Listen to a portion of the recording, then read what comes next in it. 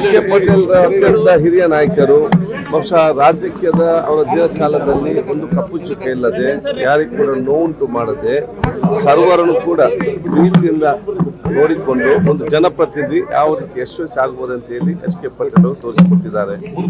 ಅವರು ಮಾಡಿದಂತಹ ಮಾತುಗಳು, ಹಾಡಿದ ಮಾತುಗಳು, ಭಾಷಣಗಳು ಅದರ ಪುಸ್ತಕ ಹೊರ ತರುತ್ತಿರುವುದು ಇದು ಭವಿಷ್ಯದ ಜನಾಂಗಕ್ಕೆ ಕೊಡುವಂತ ದೊಡ್ಡ ಮಟ್ಟಿನ ಕೊಡುಗೆ. ಸರ್ ಈಗ ರಾಮ ಮಂದಿರದ ಬಗ್ಗೆ ಈಗ ಈಗಾಗಲೇ ಸ್ಪೀಕರ್ ಆಗಿದ್ದಾನೆ. ನೀವು ಸರ್ಕಾರದ ರಾಜ್ಯಕ್ಕೆ ಪೊಲಿಟಿಕ್ಸ್ ಅಂತ ಕೇಳಿದ್ರೆ ಆಗುದಿಲ್ಲ.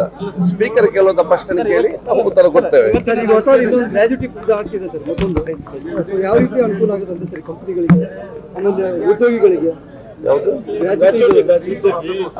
ಸರ್ಕಾರ ತೀರ್ಮಾನ ಮಾಡ್ತದಲ್ಲ. ಗ್ರಾಚುಟಿ ಸಂಬಂಧಪಟ್ಟಂತೆಲ್ಲ ಸರ್ಕಾರ ತೀರ್ಮಾನ ಎಸ್ ಅಸೆಂಬ್ಲಿ ಸಂಬಂಧಪಟ್ಟ ಹಾಗೆ ಶಾಸಕರಿಗೆ ಸಂಬಂಧಪಟ್ಟ ಹಾಗೆ ಸದನ ಸಂಬಂಧಪಟ್ಟ ಹಾಗೆ ಸಂವಿಧಾನ ಸಂಬಂಧಪಟ್ಟ ಹಾಗೆ ಅದಕ್ಕೆ ಉತ್ತರ ಕೊಡ್ಬೋದು. ಈ ವಿಡಿಯೋ ನಿಮಗೆ ಇಷ್ಟವಾದಲ್ಲಿ ಲೈಕ್ ಮಾಡಿ, ಶೇರ್ ಮಾಡಿ, ಸಬ್ಸ್ಕ್ರೈಬ್ ಮಾಡಿ.